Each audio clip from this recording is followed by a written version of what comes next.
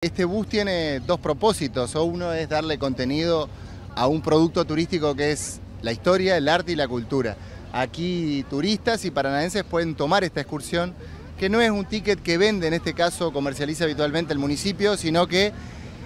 hay fondos que son donados porque los que cortan tickets son instituciones sin fines de lucro. Pero al mismo tiempo es un elemento básico y muy positivo para sensibilizar a los nuestros. Sensibilizar a los nuestros es contarle a los paranaenses de qué se trata Paraná, cuáles son sus atracciones turísticas, por qué el turismo es importante. Hablando de otro tema, ¿cómo viene la temporada turística en Paraná, teniendo en cuenta que bueno, muchos paranaenses han elegido quedarse este año en su ciudad?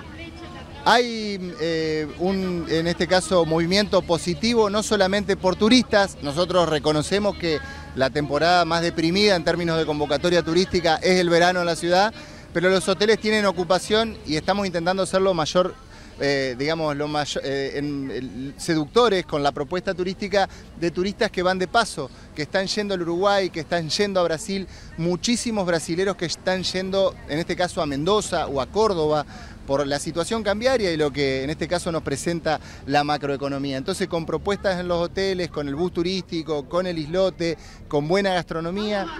con una ciudad que indefectiblemente está bella y resulta atractiva, eh, estamos dándole una propuesta complementaria a aquellos que por ahí no tienen la intención de quedarse algunos días en la ciudad.